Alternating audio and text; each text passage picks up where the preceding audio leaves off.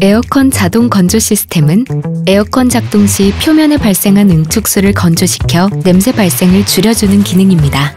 인포테인먼트 시스템의 설정, 차량, 공조, 공조 편의로 들어가 에어컨 자동 건조를 선택하면 시동을 끄고 약 30분 후 기능이 작동됩니다.